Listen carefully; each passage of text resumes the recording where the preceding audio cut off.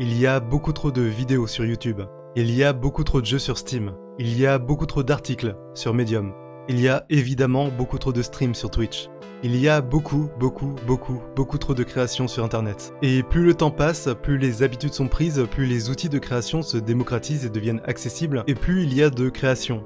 En tant que joueur, en tant que viewer, en tant que lecteur, en tant qu'utilisateur, nous ne connaissons qu'une fraction infime de ce qui se fait et de ce qui se passe sur ces plateformes. Et forcément, on passe inévitablement à côté de beaucoup de contenus qui auraient pu nous plaire, mais qui nous restent la plupart du temps inconnus. Les outils que nous proposent les plateformes comme YouTube et Twitch ne sont plus adaptés pour nous faire découvrir de nouveaux contenus, de nouvelles personnes, et particulièrement pour nous faire découvrir les plus petites chaînes. Parce que si la mise en avant des contenus les plus populaires, mis à jour et sélectionnés en temps réel par des algorithmes, a été un outil plutôt efficace pour permettre la découverte de nouveaux contenus, plus ces plateformes grossissent, plus elles ont de création, plus elles ont d'utilisateurs, et plus les créateurs se sont habitués aux algorithmes et ont adapté leur contenu en fonction de lui, moins cet outil basé sur l'idée que ce qui est populaire va plaire, fonctionne pour découvrir de nouvelles choses. Les suggestions personnalisées n'aident pas non plus à découvrir de nouvelles chaînes. Le principe, c'est qu'au lieu de montrer à tous les utilisateurs ce qui plaît le plus à la majorité, l'algorithme va montrer à un utilisateur en particulier d'autres contenus qui seraient susceptibles de lui plaire spécifiquement. Soit que le contenu a plu à la majorité des utilisateurs ayant globalement le même historique, soit que le contenu est globalement similaire à celui regardé. C'est une méthode qui a fonctionné, mais qui a quand même le gros défaut de ne proposer que ce qui est similaire à ce que je connais déjà. Et cette limite peut se voir avec Twitch ou YouTube. En regardant des let's play sur YouTube,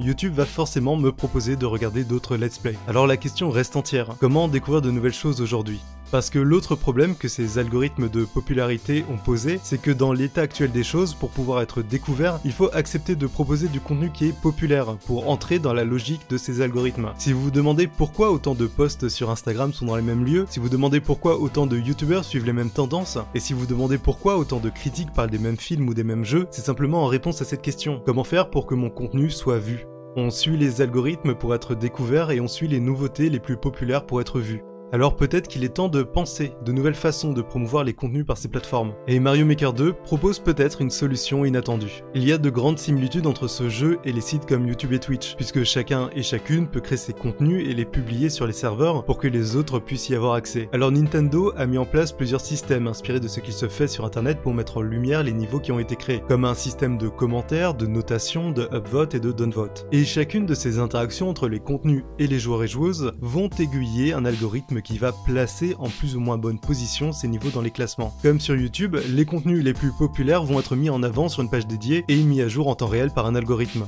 Mais Mario Maker 2 propose aussi un autre onglet, l'onglet prometteur. Et cet onglet est intéressant puisqu'il va proposer différents niveaux qui sont jugés comme pertinents. Et pas seulement ceux avec le plus de visibilité ou de likes, mais des créations avec différents niveaux de visibilité, dont certains avec seulement deux ou trois cœurs et à peine quelques parties jouées, qui se retrouvent mis en avant en même temps que d'autres niveaux avec de bien meilleures statistiques. Alors j'ignore comment l'algorithme classe et met en avant ses contenus dans cet onglet, comment est-ce qu'il juge qu'un niveau est pertinent ou non, mais ça permet faire découvrir des niveaux très différents les uns des autres, sans forcément compter uniquement sur la chance, l'aléatoire ou de longues recherches. C'est un système qui permet de montrer de nouvelles choses, au-delà de ces quelques niveaux qui restent en haut de la liste populaire. Mario Maker 2 prend le parti d'affirmer qu'il existe de bons contenus qui ne sont pas forcément les plus populaires, et il prend le parti de montrer ses créations, peut-être un peu plus bancales, peut-être un peu moins fignolées, mais potentiellement intéressantes et nouvelles. Et ce système, appliqué à YouTube ou à Twitch, permettrait certainement de faire émerger des créateurs et créatrices qui proposent des contenus intéressants, mais qui sont invisibles aux yeux de l'algorithme de popularité. Des contenus peut-être sur des sujets un peu plus obscurs et moins recherchés et moins vus, ou encore des chaînes nouvelles qui tentent de se développer.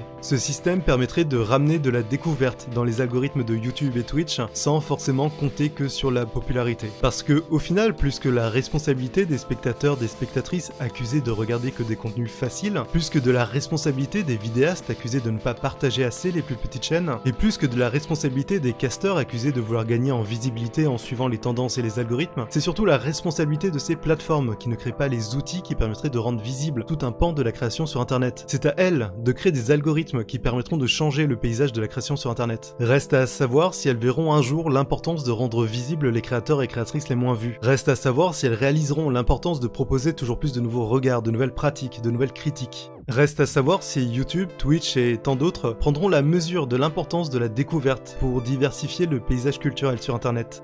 Et reste à savoir si elles créeront les outils adaptés.